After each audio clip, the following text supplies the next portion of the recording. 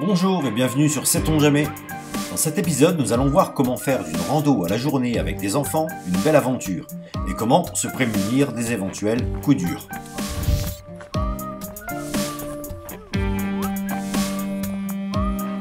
C'est quoi là Bon, c'est une grotte patience, c'est sûr.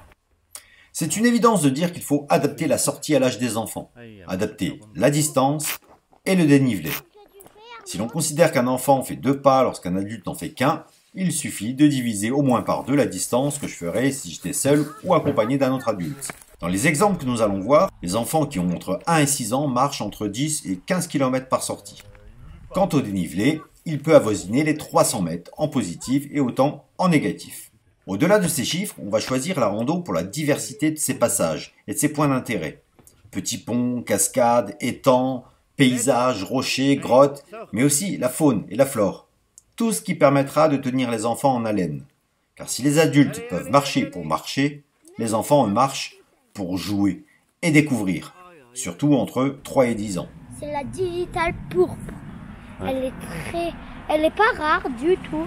Vous la pouvez la, à- à- à la trouver dans n'importe quelle forêt, mais regardez bien les fleurs. Elles sont penchées sur le bas. Un peu plus grands, souvent happés par leurs écrans, c'est un défi de leur faire comprendre que le monde réel, pour peu qu'il soit sauvage, Vous ne devez pas toucher. a autant, si ce n'est plus d'intérêt que leur monde virtuel. Un défi qui n'est cependant pas impossible à relever. Mais aujourd'hui, nous allons nous contenter de motiver et de surprendre nos deux petits marcheurs, ainsi qu'un jeune enfant qui ne sait pas encore marcher. Mais avant de parler de pédagogie, on va voir ensemble comment s'équiper. En montagne, encore plus qu'ailleurs, le temps peut vite changer. On peut partir sous un soleil radieux et se faire surprendre par le vent ou la pluie. Même si la météo n'annonce rien de tel, en plus de bonnes chaussures et d'une casquette, nous prenons des vêtements de protection. Pour chaque personne, une polaire ou doudoune, ainsi qu'un kawaii ou un pancho. En cas d'averse violente ou prolongée, je ne me sépare jamais d'une couverture de survie épaisse qui a l'avantage d'être également polyvalente. En plus de faire un bon abri contre la pluie ou un tapis de sol, elle peut également protéger du soleil et éventuellement servir pour sa fonction première, la régulation thermique d'une personne blessée. Moi. L'hydratation est également primordiale. Chacun sa gourde pleine, et comme on s'arrange toujours pour qu'il y ait une rivière ou un point d'eau sur l'itinéraire, j'emporte une paille filtrante et une bouteille au goulot adaptée à ce système de purification. Pour la bobologie, je prends cette trousse de premier soin. À l'abri, dans son étui en cordura, elle offre le double avantage d'être facile à déployer, pas de fermeture éclair qui risque de coincer, et, une fois ouverte, de visualiser d'un seul coup d'œil son contenu. Antiseptique, liquide physiologique, anti-brûlure, pansement, bandage, cachet antidouleur et antivomitif, tire-tique, pince à épiler, ciseaux Gesco, gants. Pour les petites piqûres, on trouve aisément du plantain à frotter pour apaiser la démangeaison. Et toujours ma cheville couturière pour les réparations de fortune. La présence d'un bébé implique l'emport d'un kit hygiène qui tient dans le compartiment situé sous le siège de l'enfant. Je pourrais me contenter d'un petit réchaud à alcool pour faire bouillir l'eau, mais ça serait passé à côté de l'expérience de faire un petit feu. Moment toujours magique, même si la nuit c'est mieux, c'est l'occasion d'apprendre à choisir le bois mort, le débiter, le bâtonner, faire des hérissons, gratter l'écorce de bouleau, le fire steel. Je ne détaille pas car on a fait une vidéo à ce sujet. Mais je mets ce petit kit dans mon sac. Pour le couteau, j'adapte la taille de la lame au temps passé dehors. Donc, pour une journée, un mora robuste ou ce petit fixe scandinave à la lame en acier carbone. Dans le sac enfant, un opinel à bourron mais bien aiguisé.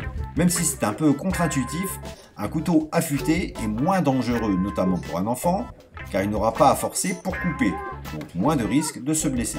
Plutôt que d'emporter la scie pliante, je prends ma pince multifonction Victorinox, qui en plus de sa petite scie très efficace, possède d'autres outils qui peuvent toujours servir. Je n'oublie pas ma paire de gants en cuir, pour notamment sortir la tasse du feu. Pour assurer des enfants dans des passages risqués, je prends quelques mètres de cordelette d'escalade, plus solide que la paracorde. Et je distribue aussi un peu de ficelle naturelle pour les bricolages dans le sac des enfants.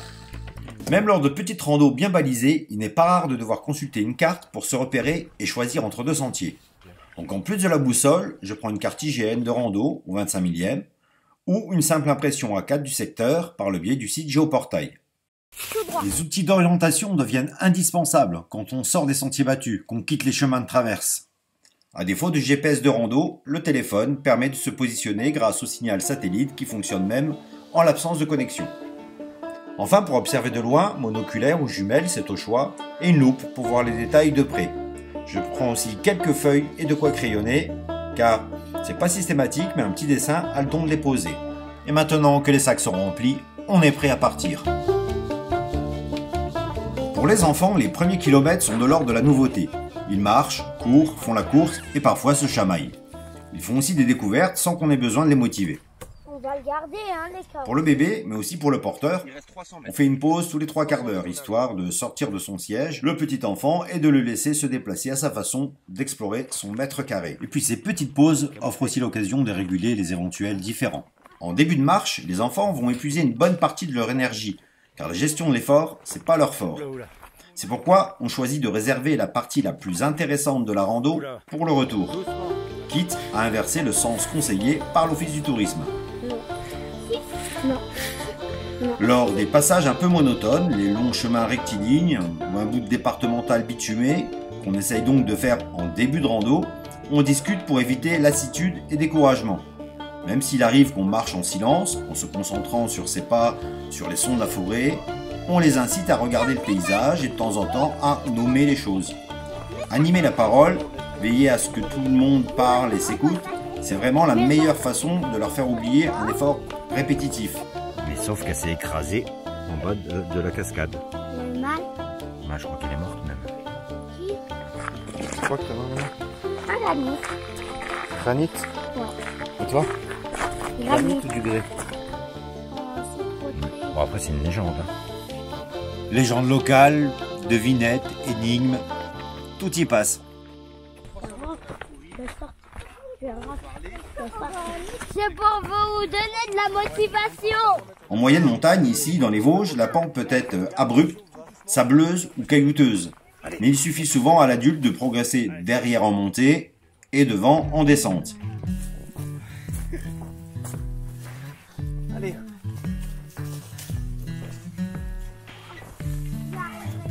Mais si tu y arrives.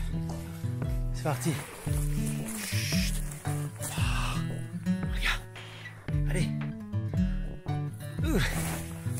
C'est quoi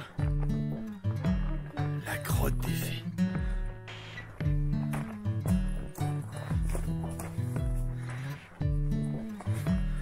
C'est délire. Si l'enfant n'est pas rassuré, la cordelette nouée autour de la taille permet un assurage, réassurage de proximité. Quand un sentier longe une falaise, l'adulte marche simplement entre l'enfant et le vide. La présence d'une cascade, d'un torrent ou d'une rivière est toujours un temps fort dans une rando. Mais le courant et les rochers glissants ne sont pas sans risque. Ce type de franchissement méritant à lui seul un épisode, on va choisir de rester au sec aujourd'hui. En, en hiver, elle était gelée forcément à cause de la neige. Ouais, et puis après à la fonte des neiges, ben, il y a une belle cascade, mais là comme on en était, ben, il y a, il y a pas, il y a juste un petit filet d'eau. Quant au passage qui nécessite un minimum de matériel et de techniques d'escalade, ils feront également l'objet d'une très prochaine vidéo.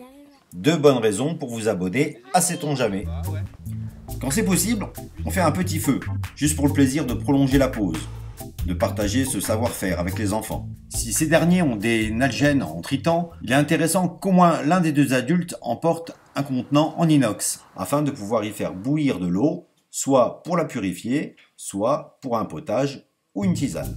Le fait d'emporter une gourde ou un récipient en inox permet de ne pas ou de très peu se trimballer de nourriture. Hormis des barres de céréales, du sucré pour l'énergie et le plaisir, une rando à la journée, c'est l'occasion de manger local. Rien de très original, des plantes facilement identifiables et abondantes, comme une petite soupe d'ortie relevée d'un champignon, qu'on on les connaît, le mûr, des feuilles de tilleul, il et bien sûr, on en profite pour sortir le livre des plantes toxiques et comestibles. Le temps calme, qui suit le pique-nique, est une bonne occasion pour se poser, s'allonger sur le dos et regarder les feuillages osciller sous le vent. C'est au cours de la rando de l'après-midi qu'il faut être le plus inventif, car les enfants vont commencer à se lasser et à se plaindre de la fatigue. Quand ils sont plus jeunes, on peut se relayer pour les porter un peu sur les épaules, mais à leur âge, ils ne doivent compter que sur leurs jambes. On va donc diversifier, sans les gaver pour autant, les jeux, les observations et les expériences. Le balisage, ça ne sert pas seulement à réviser les couleurs et les formes géométriques, c'est aussi un bon jeu de piste pour les enfants qui s'improvisent volontiers les guides de la troupe. Mais on peut aussi se cacher pour surprendre le reste du groupe. Tendre une embuscade pacifique au suivant est un jeu de patience et de silence. On va les cacher, on va les voir passer.